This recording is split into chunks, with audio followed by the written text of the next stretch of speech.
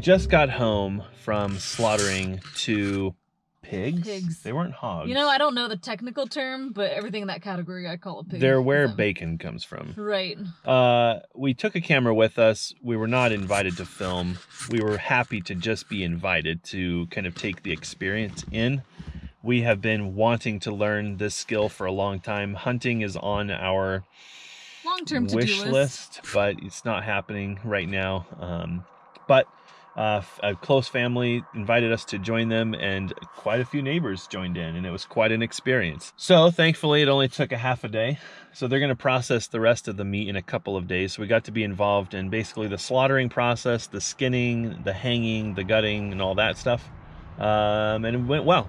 I think anyone that's interested in getting their own meat, um, it's not pretty. You know, No. some might say it's not fun, but it's a very real experience. But Yep. by doing this with people that do do this and they have the tools and the equipment and the setup, it's not what I would say traumatic. You know, we're not No. squeamish people or anything, but you see, it's just it's just a process. And once you learn, you know, how to skin an animal and take the guts out and you know get rid of the blood and stuff, it's just a very like kind of mechanical process. And It's a system. and it can even be somewhat clean if you have the tools and you know water and the space so it was a good experience for us and i think we're not ready to do that yet it's going to be a very long time but it makes us less apprehensive or less worried to get into hunting or if we have the opportunity you know we're slowly slowly getting the space to do stuff like that and be Yep. responsible for your food yeah, I'm glad we went. It was not easy. We had to get up way earlier than we really wanted to, but um,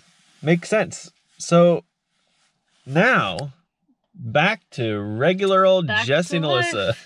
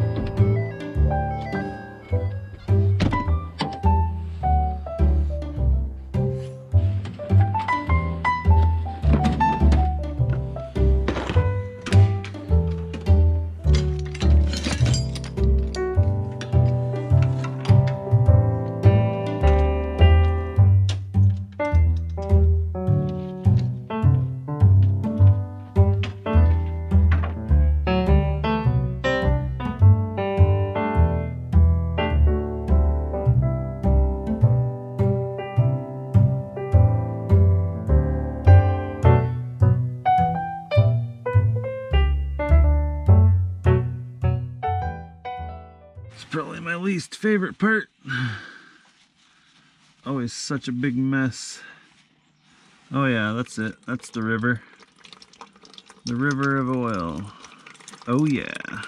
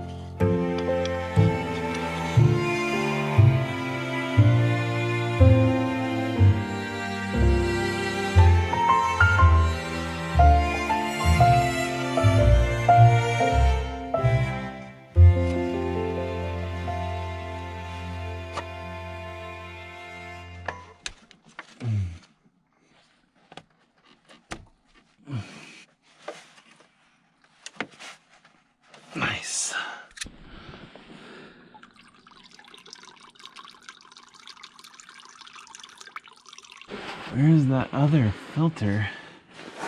Must be this thing. Yeah, looking right. It's got the drain. It's got the power plug. Oh boy, that could be fun.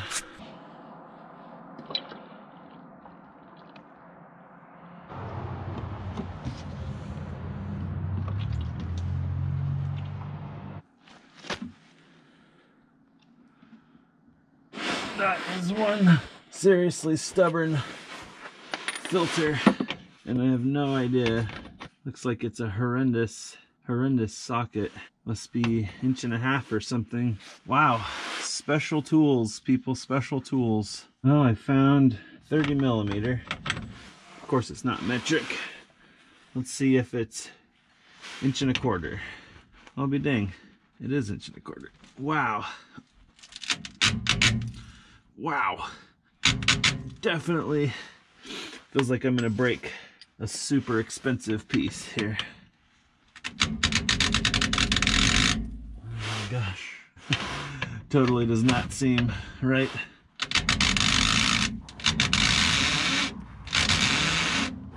This could end really badly.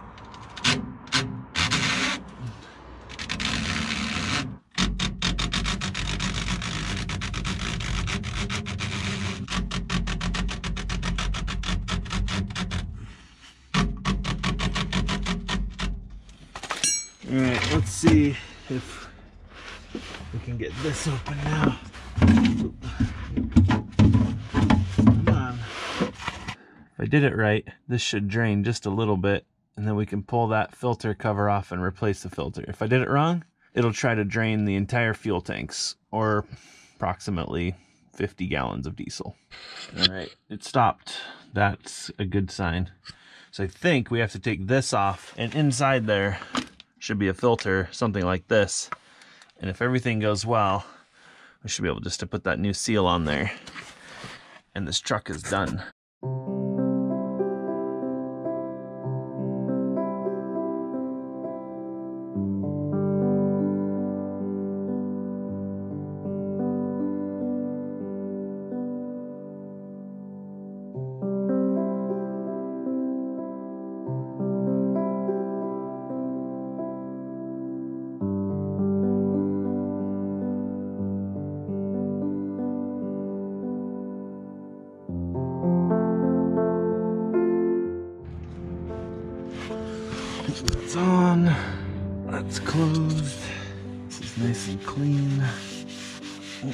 Long, but.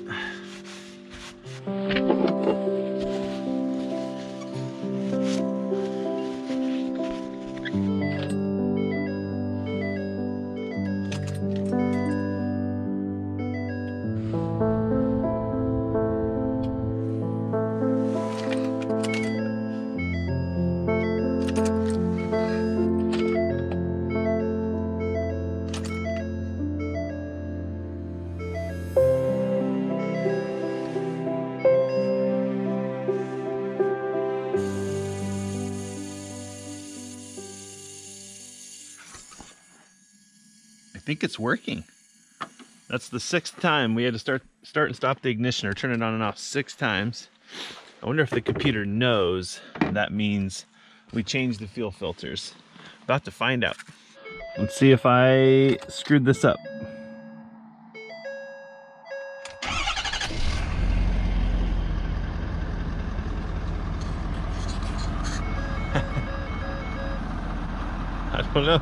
Still running. Fuel filter change required. I just did that.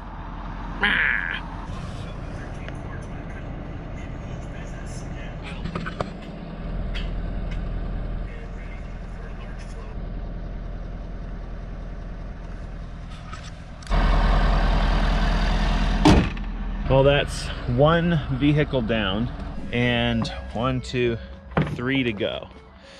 So maintenance is something that I think a lot of us struggle with. There are a lot of people out there who are very good at maintenance. And then there are also a lot of people who pay someone else to deal with it. Maybe you're one of those two people, I don't know. And I've challenged myself because Alyssa and I have been blessed with so many nice things to teach myself to maintain them and to maintain them as best I can. I feel like a lot of people complain in the modern era that things are no longer serviceable. Uh, they complain that things can't be repaired, that you can't find parts. And to some degree, they're right. But there's a lot of very basic, and I mean basic maintenance that can be done on a lot of the things that we own. And the problem is, I don't enjoy it. I don't like it. It's not fun. And part of that I've learned is having the right tools. A, which I ran into today again. I didn't have the right socket to remove the fuel filter bowl, and it's annoying. It's angering. I think there's probably nothing I hate more than bashing my knuckles on a sharp piece of rusty metal. And I've learned to get the good tools. And so we've been investing a lot in tools. I don't run out and buy every tool that I see, but I find that if you have the tool, it's the right tool for the job, the job is a lot easier.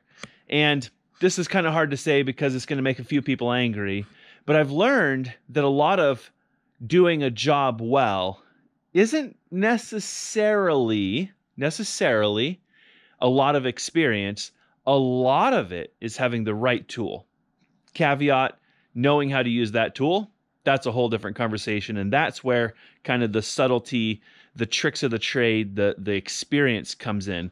But much like the videos that we shoot, if we had low quality camera gear, our videos would suck.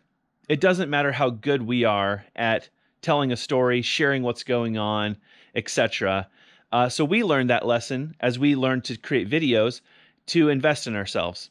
And so I'm I'm doing the same thing when it comes to vehicle maintenance. I've never changed a fuel filter. That's not true. I changed one in the backhoe last year. If you haven't seen that video, check it out. I made a big mistake. I did not prime the filter. But that's the second, this one is the second fuel filter I've ever changed in my entire life because I never took the time to learn to do maintenance. And here we are.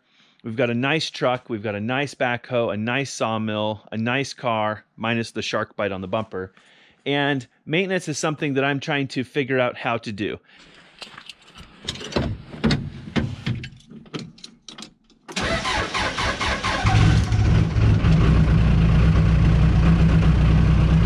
When I say I'm trying to learn how to do maintenance, I don't mean I don't know how to do an oil change. I think those are pretty stupid proof, really. What I'm trying to figure out is how to do them well.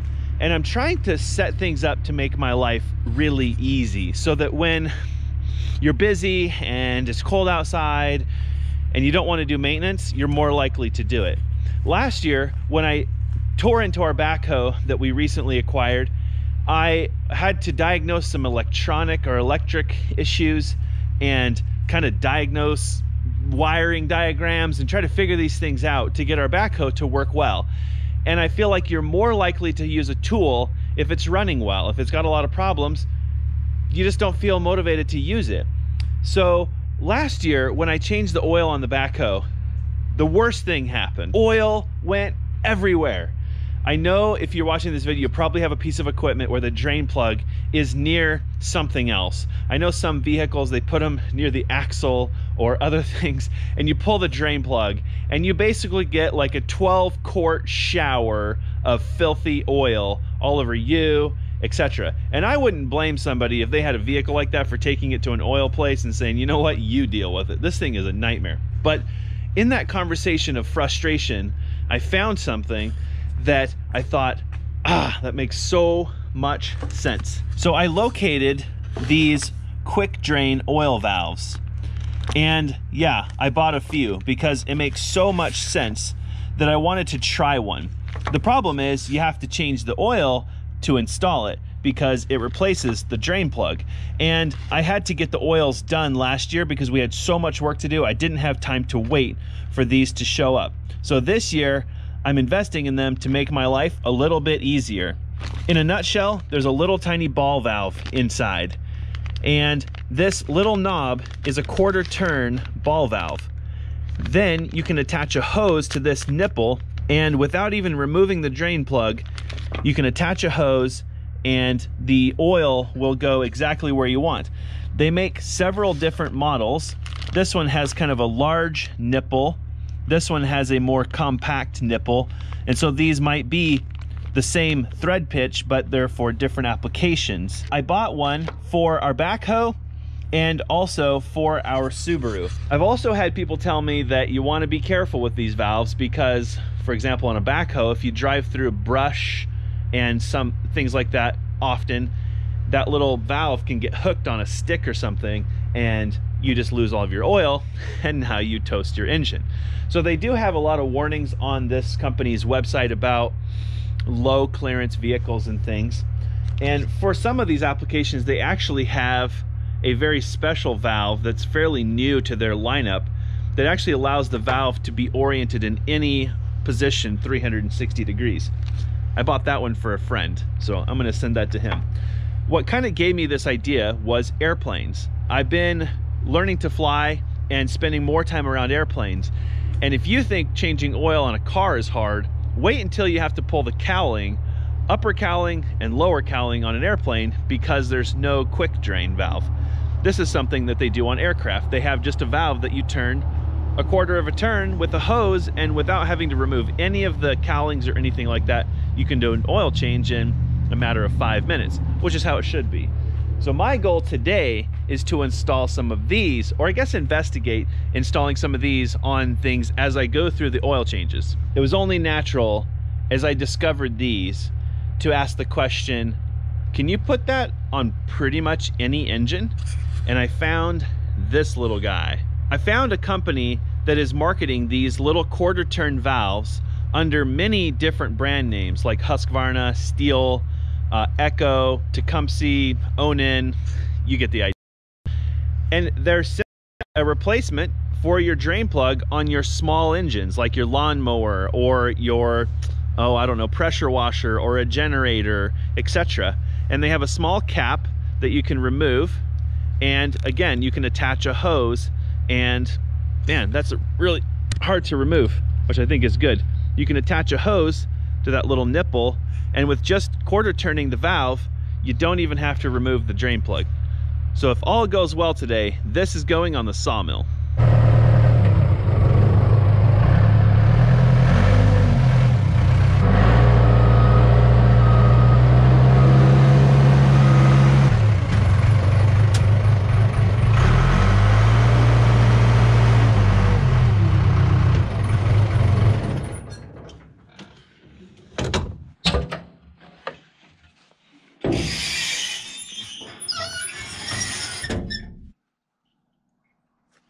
Looks like in the last year, we're just shy of 100 hours. That's pretty good. I think we'll leave the fuel filter and the fuel and, and oil or fuel and water separators. I think those will probably be okay.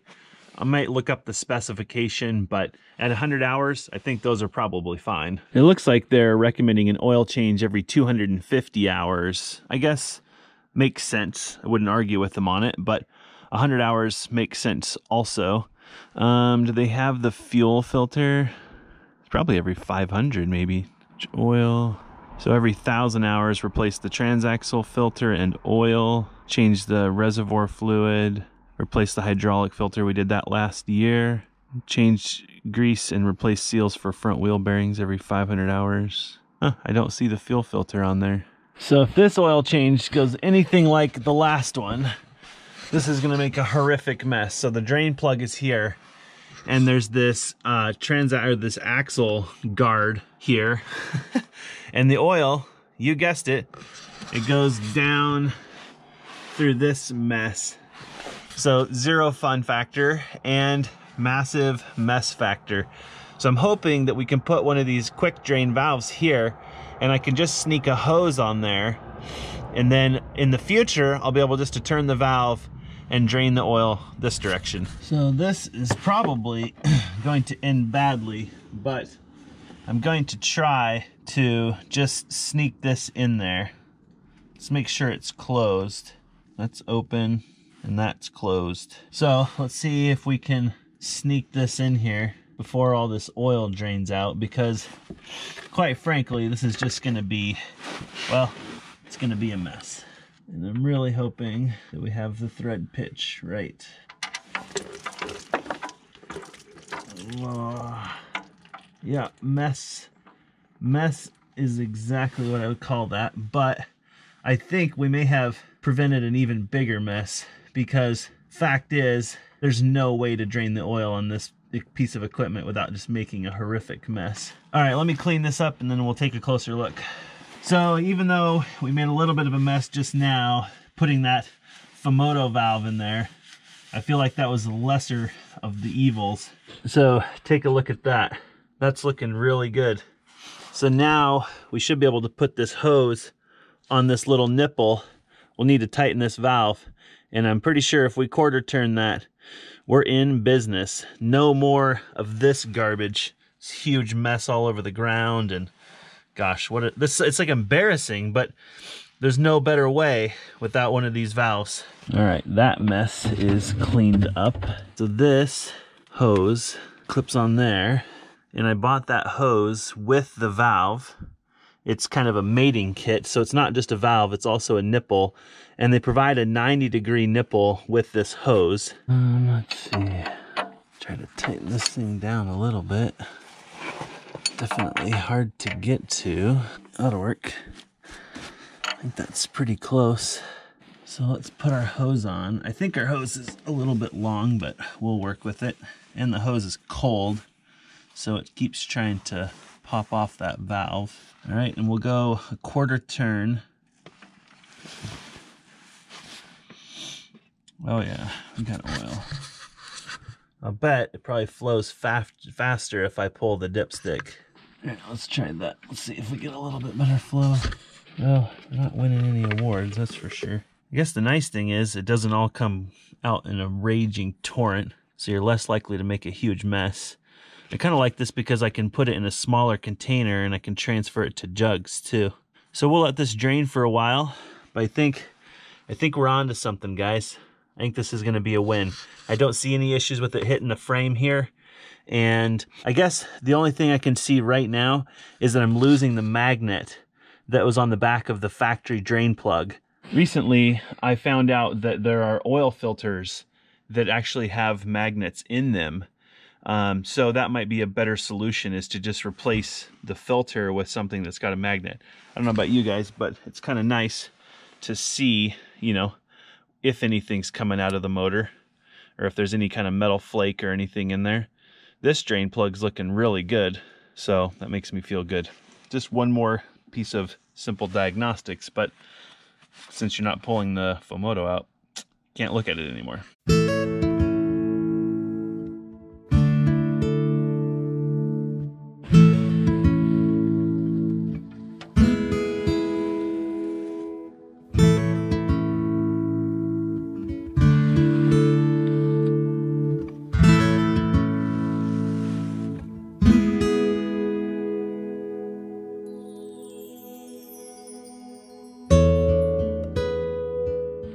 Think it's done. Looking to me like that hose is pretty empty. So we just need to kind of drain that hose out a little bit. So we'll turn that off. It's looking good. Pop the hose off here. Nice. We can drain that hose in just a second. So that worked pretty dang good. I still managed to get a little bit on the ground, but unlike last time, I didn't put a bunch. So a nice thing is you can take it out in small pails. And kind of speaking to that, as it pertains to aircraft, I've learned recently that we can send oil off for an analysis. And they actually check for different metals in the oil, even very fine particulate matter and it's a great way of kind of doing diagnostics on cams and valves and pistons and rings and you know where if you're getting wear or you're getting uh, corrosion where is it coming from? So the nice thing about this quarter turn system is that if you had a fleet of vehicles uh, you could totally just do a sample and you wouldn't have to drain the entire oil system to do that. All right uh, I got the filter done while that was draining uh, matter of fact, it is way slower. So uh, don't do this if you're in a hurry, I suppose. But um, I think that in this instance, the lack of a massive oil spill justifies taking a little bit longer. But the good news, like I said, I can change the filter and I can do other things while this is draining. I'll take that over trying to mop up an oily, messy mess. Something else Fumoto includes with some of their valves is this tiny little clip. And I think it's designed, obviously it has a very simple purpose, and that's to keep the quarter turn from moving. And they did not include any instructions. Oh, I see, yeah. So it basically keeps the valve from getting pushed up. Something like that. I'll keep trying different positions here. There we go. That one makes sense. It slides over this little handle and then kind of behind that valve. Pretty tough to see that little guy in there. And that keeps this from moving up and it keeps it from being able to rotate. Of course, wouldn't hurt. I mean, you should be checking oil every time you start the engine, right? Every day, but that's uh, a little clip that they provide with the valve. All right, I think we'll get this one topped up with oil. I do have a little bit more maintenance to do on this one, but I really want to get the quarter turn on the sawmill before it gets dark. All right, guys, sorry for the dimming light. I got sidetracked by some other maintenance on the backhoe. All I have to say is the hydraulic filter on that machine is a nightmare. So let's see if we can get this drain plug on the sawmill real quick. It looks like I'm gonna have to delay some of this maintenance to tomorrow, but I really wanna know if this, this valve is worth it.